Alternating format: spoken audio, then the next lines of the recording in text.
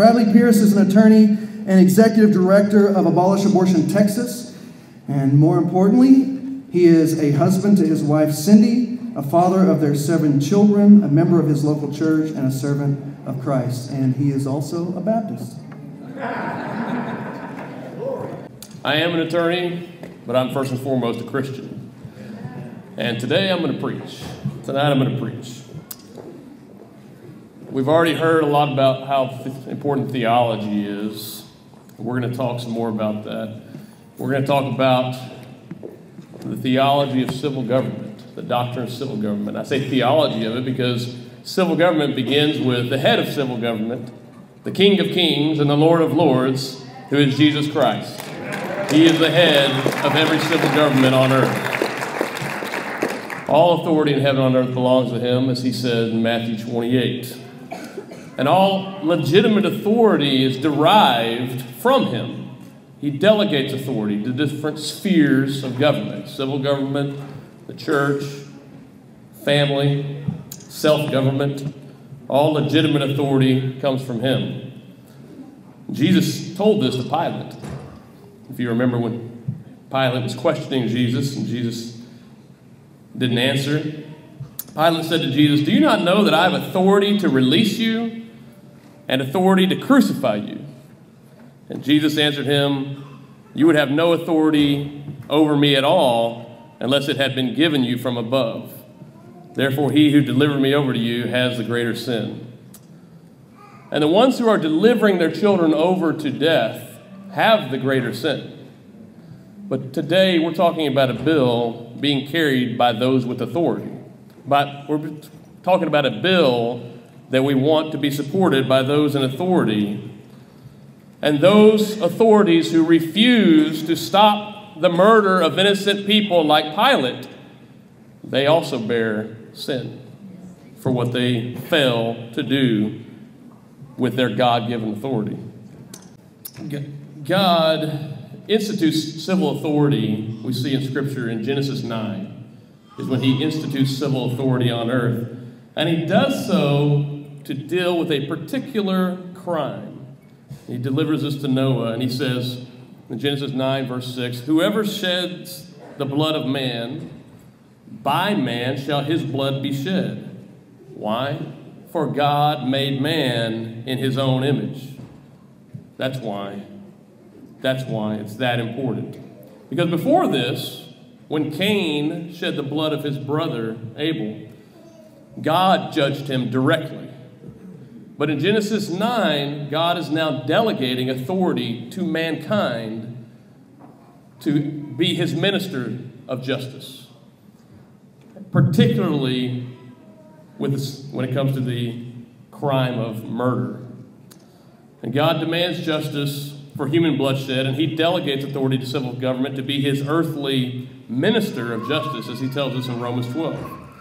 And God repeats this command in the Ten Commandments in Exodus 21, he ascribes a civil penalty to it. In Exodus 21, he also makes it clear, I believe, that it applies to children in the womb. That's where it talks about if two men are striving and a child dies, there is a civil penalty and it is equal to the killing a born person. You know, God also provides a process for how these things are to be taken care of two or three witnesses, as he tells us in Deuteronomy 17. God also applies this prohibition against murder to child sacrifice in Leviticus 20. God really cares about his image in Scripture, whether it be the born or the unborn, whether it be adult or children, God cares about his image. And he has spoken to it. And Scripture is sufficient to tell us how to deal with it legally.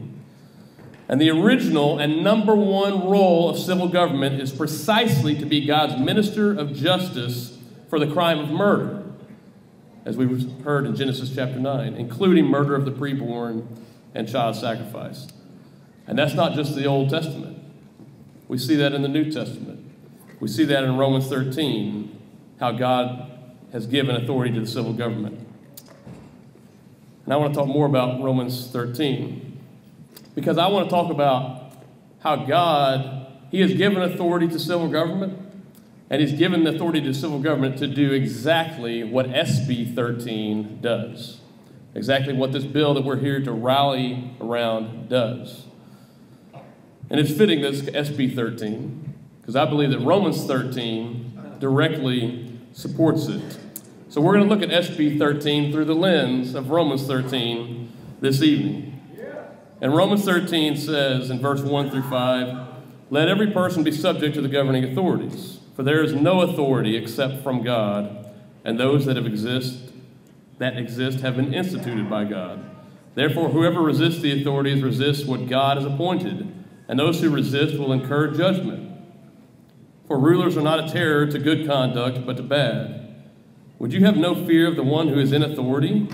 Then do what is good, and you will receive his approval for he is God's servant for your good. But if you do wrong, be afraid, for he does not bear the sword in vain. For he is the servant of God, an avenger who carries out God's wrath on the wrongdoer. Therefore, one must be in subjection, not only to avoid God's wrath, but also for the sake of conscience. The civil government has legitimate authority delegated to it by God, and when it exercises it lawfully in accordance with God's law, legitimately, it is the minister of God to you for good. But it's also the minister of God to execute wrath on him who practices evil. And how does it execute that wrath? With a rod? With keys? No, with a sword. With a sword, which is not an instrument of chastening, but it's an instrument of death. And it does not bear that instrument in vain, but to execute. That's what God, that's how much He cares about His image. And that's how much He wants to also deter us from destroying that image. What about SB 13? Some people say SB 13 and Romans 13 conflict. Some people, you may have even heard this at the Capitol from some well meaning people. They say, well, the Supreme Court's the governing authority, and under Romans 13, we need to obey them. And they say we can't do SB 13. So there you go. Well, I don't think they're reading SB 13 accurately. We are supposed to be governing, uh, subject to the governing authorities. But SB 13, I'm sorry, Romans 13, boy, I'm going to get confused with that. Romans 13, Romans 13 is saying the exact same thing that I am. Who needs to be reading Romans 13? All of us. But who needs to be re- reading Romans 13 in this context? It is the Supreme Court, it is the legislators in our land. Because Romans 13 says to be subject to the governing authorities. Well, in this country, much different than ancient Rome, we the people are the governing authorities. Okay? Stop reading Romans 13 like we're all still serfs and slaves under a dictatorship. By the grace of God, we have liberty in this country and we have the vote in this country. We hold the power to elect our own civil officials. And we've created a document to serve as our authority over those civil officials. So let them be subject to it. Let them be subject to the governing authority the law of the land, the Constitution. Let them be subject to the governing authorities. That's what we're calling on them to do. For whoever resists it, the governing authorities, Romans 13 tells us, resists the ordinance of God. And those who resist will bring judgment on themselves. And so, those, the Supreme Court, those legislators, if you resist the Constitution, then you resist the ordinance of God because it is the governing authority of our country to the extent that it does not conflict, of course, with God's law. And you will bring judgment on yourself when you resist it. Romans 13. Yes, Romans 13. That's the one that says rulers are not a terror to good works, but to evil. That's what we're saying. That's what we're saying it's the one that says, But if you do evil, be afraid, for he does not bear the sword in vain. That's what SB 13 is calling you to do, to not bear it in vain. For you are God's minister, an avenger to execute wrath on him who practices evil. That's what we're calling on the civil government to do, to do what God tells them to do, to execute his wrath on those who practice evil. Romans 13 is exactly what we're calling our elected officials to obey. So when someone invokes Romans 13, Romans 13, you say, Yes, I'm right there with you. Absolutely. Yes, let our officials be subject to the governing authority of the Constitution. Yes, let them be a terror to evil. Let them bear the sword and not in vain. Yes, let them be a minister of God, an avenger of wrath, an avenger to execute wrath on him who practices evil. Yes, let us and our officials obey Romans 13, and that's exactly what SB 13 does. And that's why I'm here to support it not because of any man or organization, although I'm grateful for all of that, but because I believe that it is consistent with what God requires of us and of our elected officials. And so I support it because I believe I have to support it because I want to be on the same side as God. So not only does SB 13 follow the Constitution, which is the law of the land, it is the governing authority, but it provide, also provides equal protection. You know, God uses the same word to describe children, whether they're in the womb or whether they're outside of the womb in Scripture. There are many examples of this. You can look at Luke 122 when it's talking about John the Baptist in his mother's womb. And the Greek word there, I'm mispronouncing, I'm sure, brephos. Brephos. And then in Luke 2:12 it says you'll find a babe in a manger, already born, brephos. It's the same word. God uses the same word to describe both, and he treats them the same throughout Scripture. God treats their murder the same, like we talked about in Exodus 21. If you want to hear more about that, then uh, I'd love to talk with you more about that. But I believe they're the same. God treats them the same. They're of equal value because they're equally made, as we've already heard, in His image. And because they're made in His image just as much as any born person, then they must be treated equally.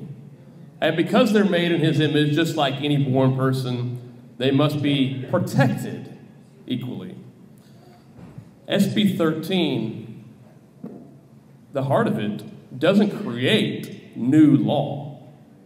SB 13 doesn't create new law.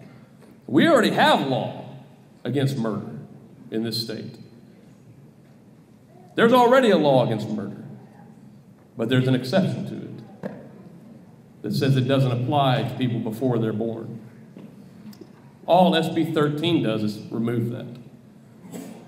And it says that this law that already exists, that already protects every person in this room, every person watching this, that that same law should equally protect those in the womb, where all of us once were.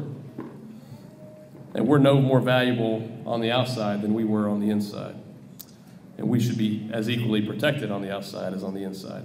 SB 13 removes discrimination from the law and provides for equal protection. And SB 13 doesn't single anyone out. Some people say, well, you're just going after the woman. No. SB 13 doesn't single anybody out. SB 13 not only provides to protect everyone equally, it also restricts everyone equally and prohibits everyone equally. And so anyone who willingly participates in an abortion would be equally subject to SB 13. And that doesn't mean that everyone would get the same outcome right? That's for our justice system to sort out. But our legislature, their job is not to figure out each case on a case by case basis. It's not to make law for all these individual cases, right? That's the role of the justice system. The role of the legislature is to pass laws that apply equally to everyone without discrimination. And that's what SB 13 does. That's what SB 13 does. You know, God's law it has, there's precepts. You shall not murder. But then God does have case law where he talks about different um, circumstances and about how the principles apply to different circumstances. And some people may come and, and bring up circumstances here. They say, well, what about a woman who is forced to, to get an abortion? What about her? What about that woman? And there are, that does happen. That does happen. And that woman should not be penalized for murder because she is being forced to do something. But we actually don't have to create new law in order to protect her. Oklahoma Criminal Code, section 155, 156, 152, paragraph 7. Now, here's the lawyer in me coming out. Already would protect her. And under SB 13, she would be protected from being found guilty of murder. So SB 13 protects when a woman is a victim. SB 13 would protect her because the same, it would apply those laws to protect her. What about a woman who doesn't know what, she, what she's actually doing? Well, first of all, SB 13, as a law should be a tutor, SB 13 teaches, it teaches what life really is. Not with, with rhetoric, but with actual substantive law. And so there will be a whole lot less ignorance after SB 13 is enacted. But even for those who don't know what they're doing, there's a doctrine called mistake of fact. Someone has to know what they're doing in order to be held guilty of a crime. And that's already in the law. Oklahoma Criminal Code 152, paragraph 5.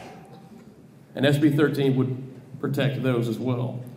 What about medical emergencies where uh, patients have to be triaged, the mother and the child? There's a common law doctrine of necessity in Oklahoma. What about the man? Some people say, well, I'll support this bill. You may have heard this before. I'll support this bill when it applies equally to men. Well, then you need to sign up right now because it does. It applies equally to everyone. Everyone is equally subject to the law. And if any man forces a woman or even helps, aids, and abets a woman to get an abortion. He's equally subject to this law. That's the whole point, is for the law to apply equally to everyone and not to single anybody out. And there's other bills in Oklahoma and around the country that fall short of the biblical standard. Like a, you may have heard of heartbeat bills that says once a baby has a heartbeat, around eight weeks, then that's when we should protect them. Well, just, just there's all kind of issues with those, but let me just get to one of them real fast. None of those laws that have been enacted in many states at this point have gone into effect. They have all been struck down by the courts, or the courts have all ruled them to be struck down. What about bills like HB 1182 to take away medical license from doctors who perform abortions. Have you looked at 1182? Have you looked at HB 1182? It says for a doctor who performs an abortion that he would he or she would lose their license for 1 year and receive a fine of $500. Is that justice? I want to talk more about that later. Well, SB 13 would actually take away their medical licenses too. It would too. Because guess what's grounds for taking away someone's medical license? Committing a felony. And that's what it, murder would be under SB 13. So they would definitely lose their license under SB 13 as well. Bradley, what about total bans like we've seen in Oklahoma? Isn't that sort of like SB 13? No, it's not. Because what they passed in Oklahoma, I was say Oklahoma, I mean Alabama. Uh, what they passed in Alabama, a total ban, they actually put in the language of that, and then the governor put in her signing statement, and then the attorney general, they're all saying, this is a total ban, but we're actually not going to enforce this until the Supreme Court says we can. Wait, then why did you do it? why did you? It's not worth the paper it's written on then. and it's deceptive. There's a lot of people in Alabama now who think that abortion's been banned. Meanwhile, Planned Parenthood is building a brand new mega abortion mill in Alabama right now. It's not stopping them. SB 13 wouldn't do that. SB 13 wouldn't wait for the Supreme Court to overturn Roe. SB 13 would say, a murder is illegal now. And all those other bills I talked about that have been passed in all those other states, the courts have already ruled them, has already struck them all down. If we pass something like that here, it's just going to be struck down too. And then what are the politicians going to do? They're going to wipe their hands. Hey, we tried. We tried. We passed this, and uh, the court struck it down. But we gotta, we gotta. I did my part, so give me your vote again. Give me your money. Listen, the law is a tutor, and what should it be teaching? That abortion is health care? No. That abortion is a mere breach of medical ethics? No. No. It should be teaching that abortion is murder, the desecration and destruction of the image of a holy God. That abortion is sin. That's what our law needs to be teaching. Have you ever seen an image of an abortion or a video of an abortion? Often called a graphic image. Go look at one of those for five minutes and then come back and tell me that taking away a doctor's medical license for one year and finding them $500 is justice for that child. No. And those other bills that we just discussed, they just comply with the evil and unconstitutional decision of Roe versus Wade. SB 13 doesn't do that. SB 13 follows the law, follows the Constitution, follows the governing authority, and ignores those who are ignoring the law. If the courts are ignoring the law, we need to ignore them and follow the law. That's what SB 13 does. We don't need to legitimize Roe versus Wade, which all these other bills do. We need to follow the law.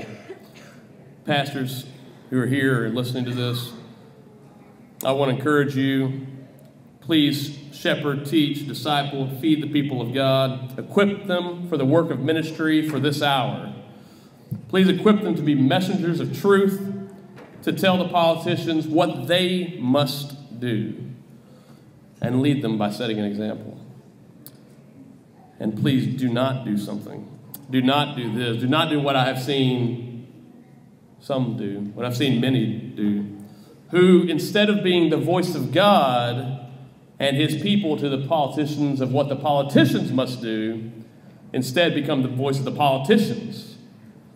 To go back to their congregations and tell them what compromises they must accept. No.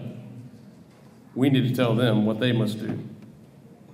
I want to go back to Pilate, talk about Pilate for just a few moments as I close. You know, one of the greatest sins in human history was committed by a magistrate who had the power to stop the murder of an innocent person. You know, Pilate, we consider him one of the greatest villains of history. In the Apostles' Creed, his name is even mentioned. He's one of the greatest villains of history. But what did he do? Actually, he did some good things. He actually did some good things. He said some pretty nice things about Jesus. Remember that? He said some really nice things about Jesus. When others came to try to murder Jesus, Pilate defended Jesus. He said that Jesus is faultless. He said that Jesus is just. He said he's a just man. He said he's innocent. Pilate tried hard to keep Jesus from being murdered. In the face of a mob, Pilate called Jesus a king. And when they when he put that in writing and they wanted him to back down from it, he didn't. He stood by what he had said and what he wrote. And after Jesus had been murdered, Pilate guaranteed that the body of Jesus would get a decent burial. That's what Pilate did. Why is he a villain then? If he did all those good things, why is he a villain? Because it's what he didn't do when he had been given authority by God. It's what he didn't do. Like many legislators and governors who do virtually nothing to stop the murder of over 600,000 preborn children, innocent people in this country, in the U.S. They say a lot of nice things. They say that preborn children are living from the moment of conception. They say that they're equally valuable. They say they're made in God's image. They say they're innocent and that they're worthy of protection. But what do they do? What do they do? When they have that power, they say nice things, and perhaps they make an effort to look like they're doing something. But what do they do? In fact, saying all those nice things condemns you all the more. When Pilate said, This is an innocent man, he condemned himself even more. When he said that this man is a king, when this man is a just man, he condemned himself all the more because of what he did not do, which is stop his murder. So also, our representatives are condemned all the more when they acknowledge the personhood of the victims, when they give them, when they pass bills to give them a decent burial, but when they do nothing to stop their actual murder. Amen. And Pilate ultimately failed to protect innocent life because he feared Caesar like our representatives refuse to do so because of the Supreme Court. There is one more similarity and two more differences between Pilate and those legislatures who refuse to provide and establish justice. The similarity is that, as Jesus said to Pilate, the greater sin is on those with murderous intent, intent in their hearts. Right? Pilate did not want to murder Jesus. There are many legislators who do not want babies to be murdered. They do not want that. I'm not saying that they do. They want to stop it, like Pilate wanted to stop the murder of Jesus. However, although greater sin is on those who commit the act of abortion, there is still sin on those who, like Pilate, have authority from God for such a time as this and refuse to use it to perform the most basic function of civil government that God has established protecting innocent life. There's two differences, though, between those kind of legislators and Pilate. First is that Pilate really was under the authority of Caesar. He, no doubt he had even sworn an oath of allegiance to Caesar. Caesar really was over him. But for, for these legislators, there is no authority over them except the state and U.S. constitutions to which they've sworn an oath. There are no institutions and authority over them like that. The Supreme Court is not over them. They do not swear an oath to the Supreme Court. They swear an oath to the constitutions of this state and of the United States. And those constitutions require them to provide equal protection to every person living within their jurisdiction. The second difference between Pilate and legislators like that are that Caesar really was the boss of Pilate. Caesar hired him and he could fire him. The Supreme Court is not the boss of the senators and representatives of this state. We are. The people are. But that also means that a measure of the guilt is on us. When we hire them and they fail in their duty and we rehire them, that blood is on our hands. And that's why it's so important that we not only stand up for bills during this legislative session, but that for those who fail to do their duty come election season, we have a duty there too. We have a duty to fire them, or else the blood is on our hands too. A measure of that guilt is on us. You know, Pilate, when he finished, he washed his hands washed his hands. This, this innocent man's blood is not on my hands. That's a gesture that he performed. It no more washed the blood off his hands. He couldn't do that. Well, we perform gestures. Politicians perform gestures, like passing heartbeat bills that they know are just going to get struck down, like passing Born Alive Infant Protection Acts that do virtually nothing, like passing bills like HB 1182 to revoke medical licenses, which is also going to get struck down. Because guess what? The Supreme Court has said you cannot create an undue burden on a woman to get an abortion. Well, if you have to be a doctor to perform an abortion, and you say all doctors who perform abortions are going to lose their license, you've just created a pretty gigantic undue burden, undue in their eyes, burden upon a woman to get an abortion. That's going to get struck down. It's never going to go into effect. It's a waste of time. Except in one respect it lets them wash their hands. It's a gesture where they can say, Hey, we tried. Just like Pilate said, I tried. I tried. God is just, and our sin, which calls out for eternal justice, but Christ on the cross paid for that. But there's bloodshed committed in our midst, which also cries out for justice, and it will come. But let's also remember that God is merciful. And there would have been forgiveness for Pilate. There would have been forgiveness for Pilate if he had come in repentance. There was repentance for Paul.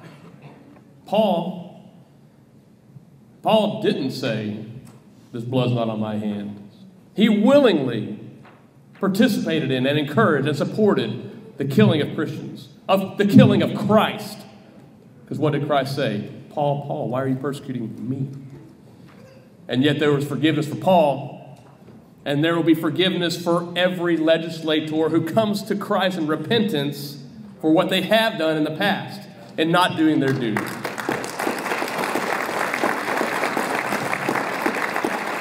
But there has to be fruit of repentance. And the fruit of repentance is that you do your duty.